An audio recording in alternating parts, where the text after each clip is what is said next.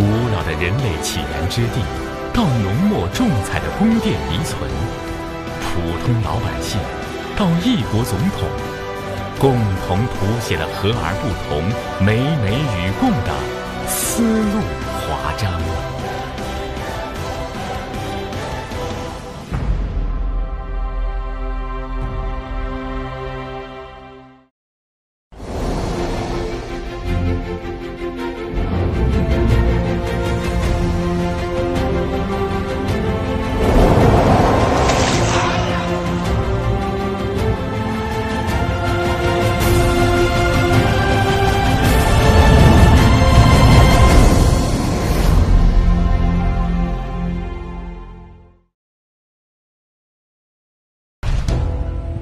当家人呢，就是因为那种拼搏精精神好，不言败。不管是对代表沙田，而且又代表中国，这个压力非常的大。最主要是自己尽好力就行了。我们是一条船，一条心。They were very fast.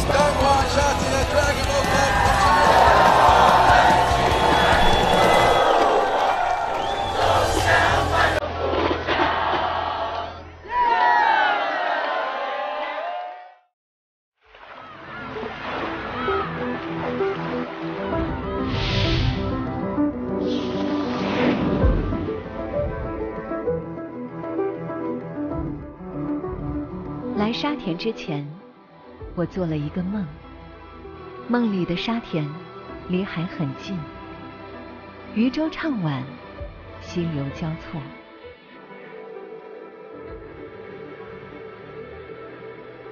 田镇位于东莞市西南部，以身于东江南支流。这里啊，常年雨水充沛，而且呢，管草肥美。那值得一提的是呢，这里距离中国近代史开端，也就是林则徐虎门销烟的遗址呢，仅有十几公里的路程。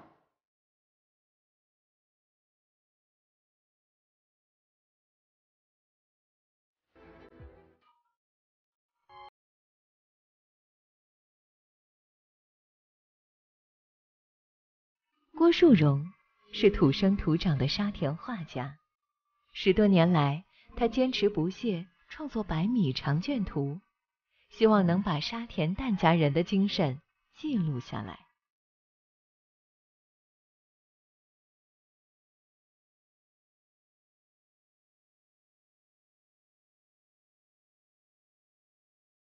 这一幅画呢，这是我那个这个长卷百米长卷里头的很。比较重要的那个内容一部分，这我把它定为什么呢？定为是沙田的造田精神。因为沙田以前呢，根本就是那个呃滩涂跟海洋。嗯。我们沙田正处在那个世纪洋的中间的中间。我小时候的时候，十岁以前，每逢涨潮，沙田都是那个全部淹灭的。后来到一九五八年，凡是能动的人都要出动。啊，这整个场景。全部是这这这些都是那他们的打桩啊，所有的那个大木船、帆船全部那个一破了沉在底下去。呃，现在沙田能有那么多平多平地，全靠这些人围起来。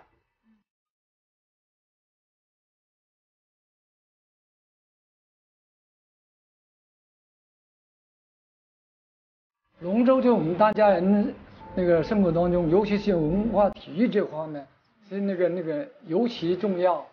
沙田人的那个长长期生活在水上，他们挖龙船、挖船是那个他们最大的特点。所以说呢，自从沙田有了龙舟以后，他们去哪里参加比赛都拿到好成绩。沙田是中国第一个龙舟项目。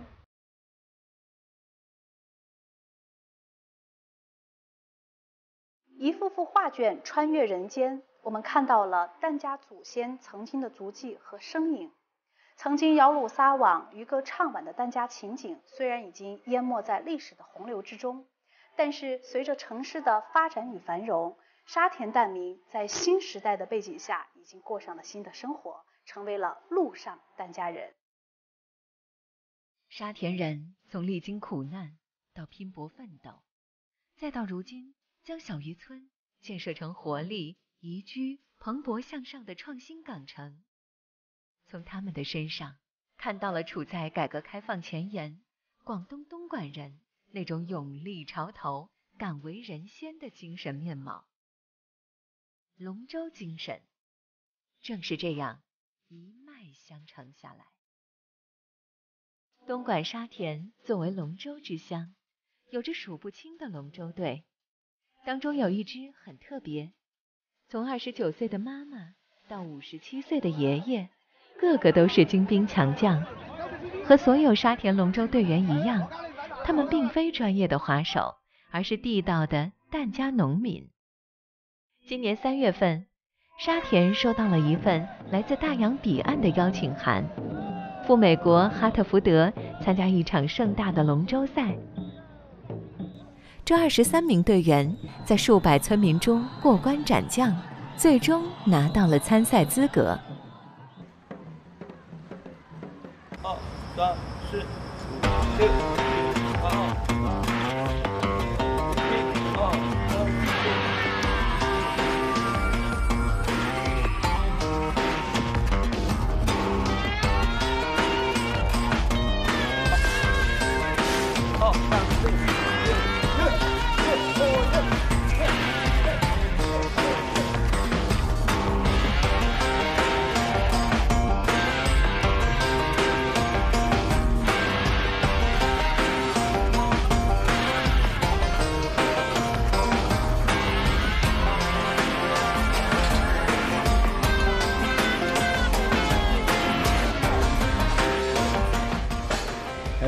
嘅原理，你双起腰嗰下，你要压住双手。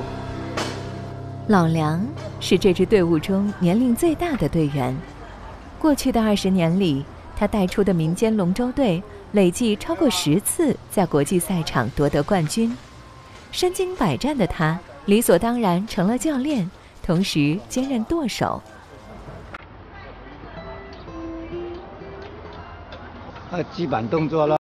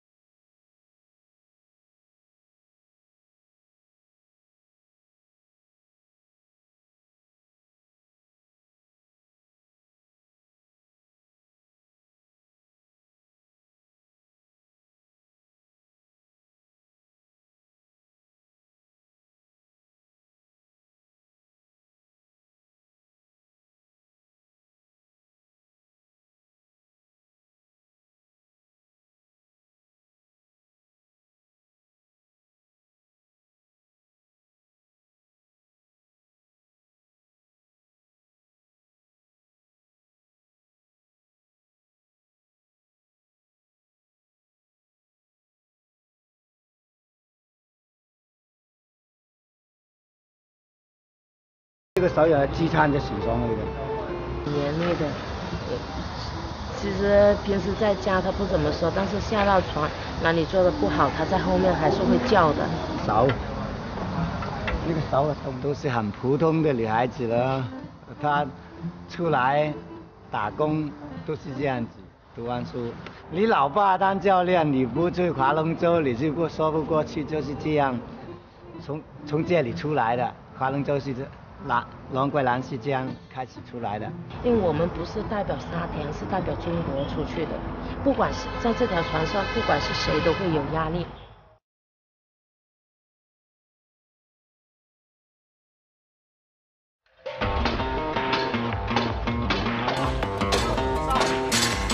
训练场上，最令老梁头疼的不是女儿梁桂兰，而是年龄与她相仿的滑手冯金喜。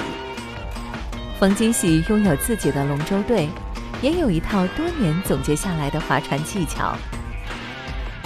他也很努力的，他但是他的动作还有一点点不是那么完美，有一点问题都说那队友的什么意见啊，都大家的讨论一下。我就比较节奏的准，我知道我怎么比较好一点，我经常给个意见去男教练，是不是？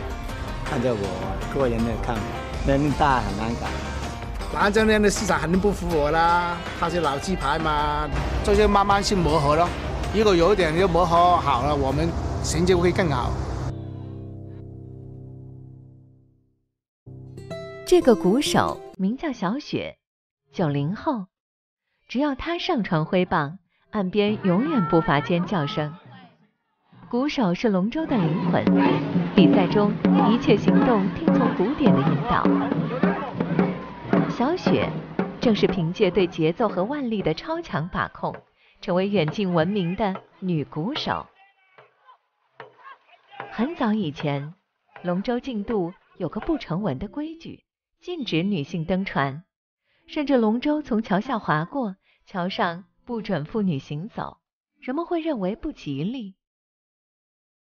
一九九六年，沙田打破了这个禁忌，成立了全国首支女子龙舟队，这才有了今天女孩都来划龙舟的场景。我以前是长头发的，然后呢？嗯，完了这个的时候就不想不想留了，也不想去收拾自己了，就觉得一片心的投入往这个龙船赛这边去。长头发你又要啊打理它，又要很很费功夫，所以我就嗯短头发。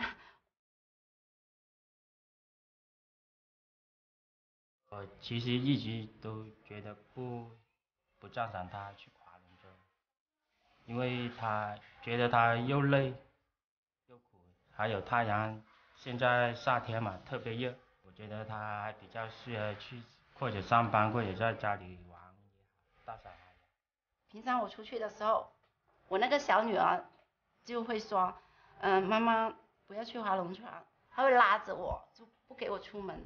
她说不要，我说为什么？她说妈妈辛苦。她一直去，有时候去上班，就说就说手疼啊、起泡啊那些，我都觉得好心疼他，都不建议她去划龙舟。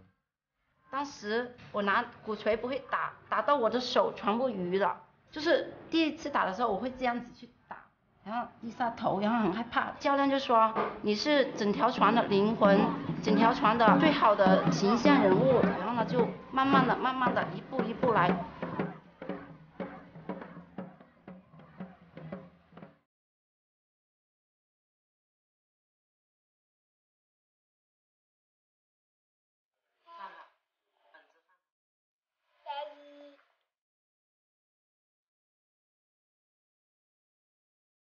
兰的丈夫加班后回到家，看到她身上到处是伤，嘴上虽然责备她辞掉舒适工作来划龙舟的冲动决定，却还是默默拿起了药酒。心疼我也没办法，我也帮不了他，我也不会不会划，我只能说有时候他回来，他实在有哪些地方疼，他自己做不了，我只能帮他擦擦药酒之类的了。他自己喜欢就去去划了，你不可能去阻止他是吧？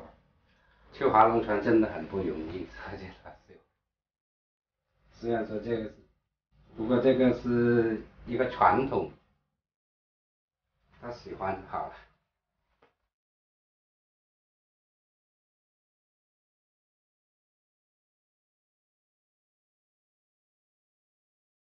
小镇的夜晚宁静而美好。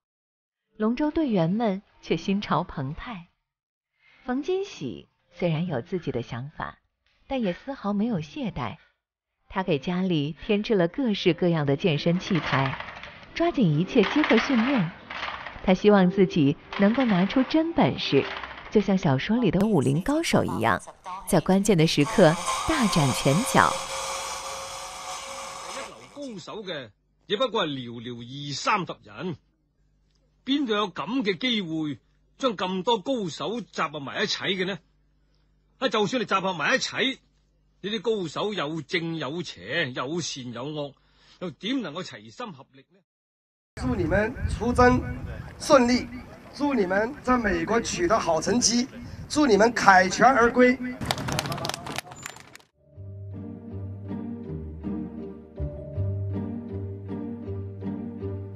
这群在后厨忙碌的妇女相当有来头。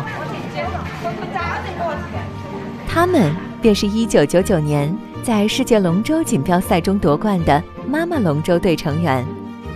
当年，他们放下孩子、家庭和农活，打着赤脚，在英国举办的世界龙舟锦标赛中一举夺得了三个冠军，威震国际体坛。这次，沙田龙舟队再次出征海外，为了给他们践行。妈妈龙舟队正在做一顿别开生面的龙舟饭。龙舟饭是广东珠三角地区的农民大聚餐，虽无鲍山赤肚，倒也大鱼大肉。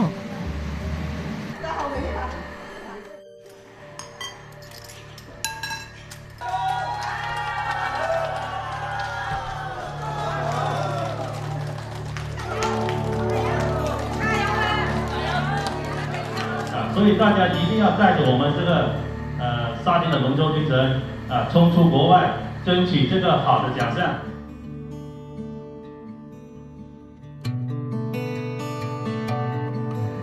沙田为中国争光的，你们有没有信心啊？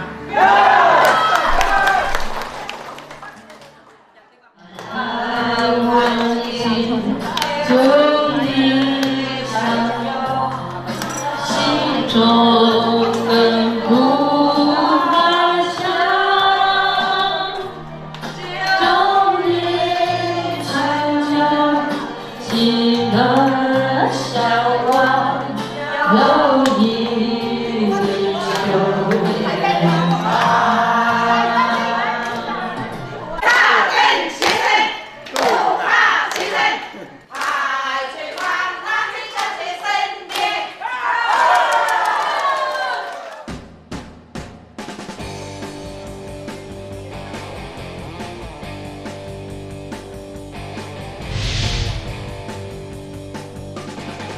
田赴美国队伍中有一个您熟悉的面孔，那就是我们节目的寻访嘉宾曹景行老师。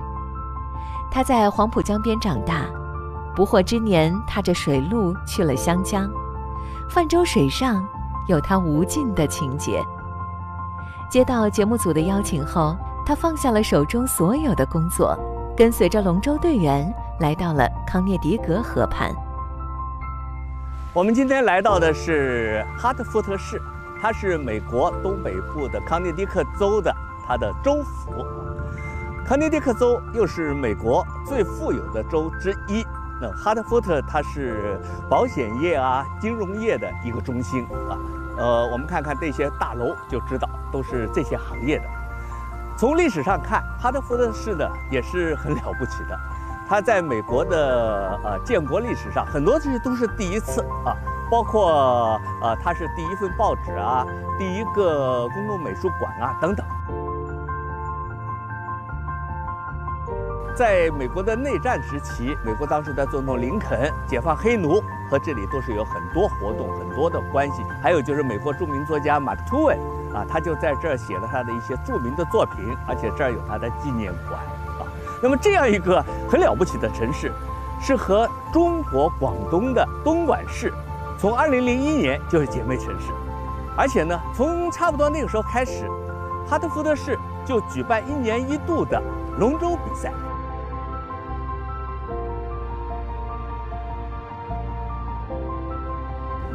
我身后的这条河叫康涅狄格河，在河的那边远处。来自中国广东东莞沙田镇的龙舟队，他们今天正在这儿训练。那么这条河是康涅狄克州的最宽的河，但是和这批来自东莞的我们的土生土长的龙舟队员他们所待的珠江相比，当然小得多。那么我们也看到背后有这座大桥，沙田的这些龙舟队员所住的地方，后面也有一座大桥，那叫。二桥，那是一座很新的啊，也是一座非常重要的桥梁。而我后面这座桥梁已经有一百十年历史，我走近看过，都是大石块砌起来的，今天还是很稳的站在那儿。所以我们的龙舟队员他们在这儿比赛起来，感觉和他们在珠江上划龙舟还是有点不一样，所以他们又在开始训练了。希望他们经过训练，他们会有好的成绩。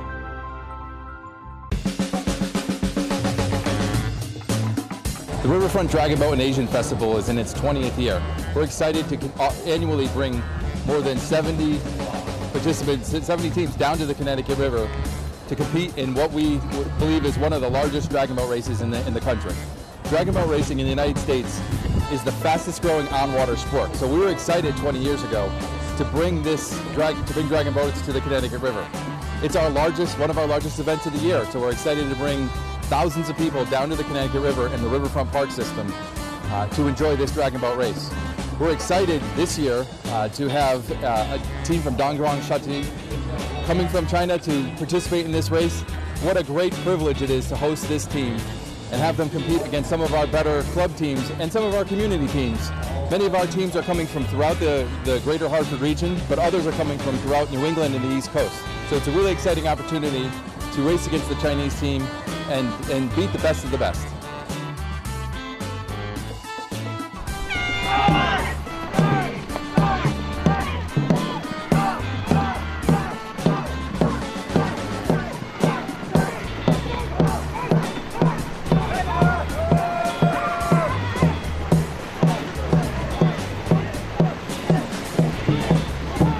So uh, we just saw the uh, Chinese um, team row down, and uh, they were pretty incredible. It was pretty uh, exciting to see.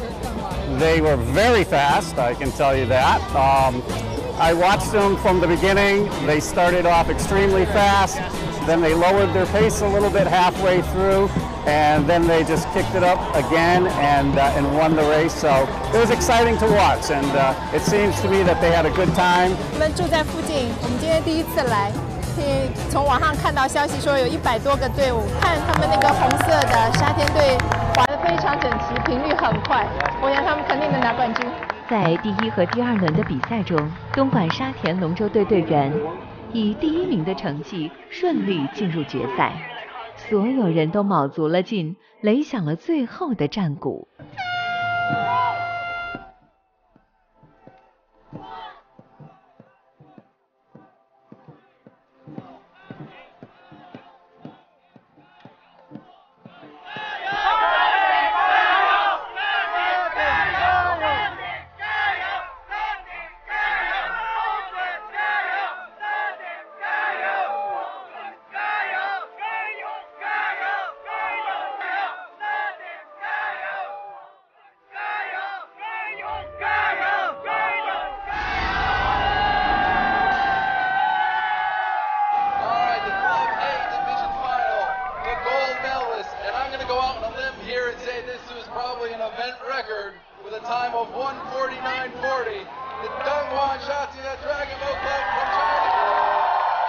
沙田龙舟队以一分四十九秒四零的成绩夺冠，实现了二十年后再次扬威海外的壮举。同舟共济，团结拼搏，力争上游，奋勇争先。短短十六个字，落在这群人身上是沉甸甸的分量。他们日夜训练，乘风破浪；他们收住自己的锋芒，齐心协力。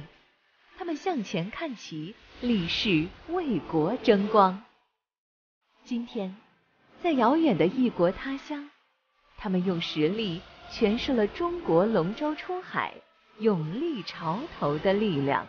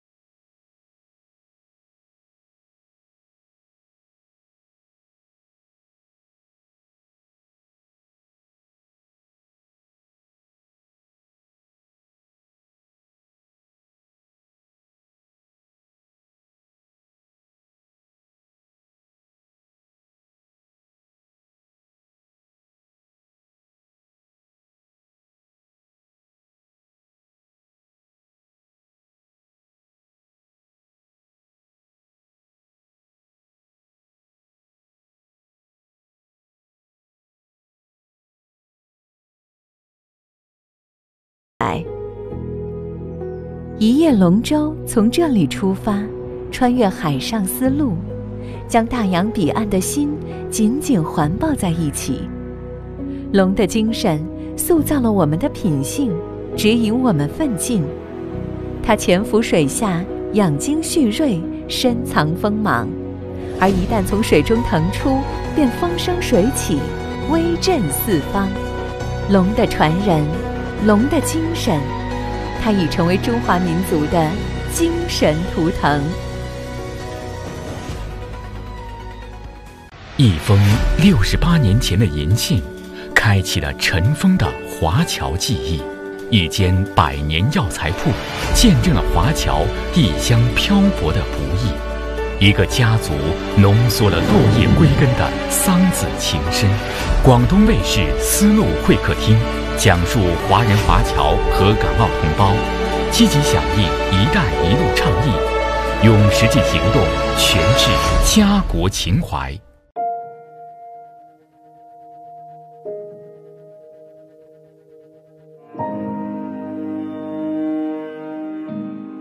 丝路文明源远流长，踏上丝绸之路的古老征途，聆听从远古奔流至今的文明对话，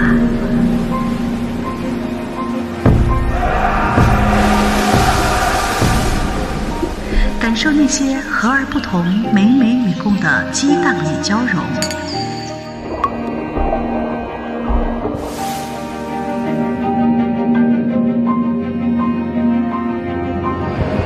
我是一飞，邀您在浩瀚时空和文明之间穿梭，一起追寻思路上的悸动瞬间。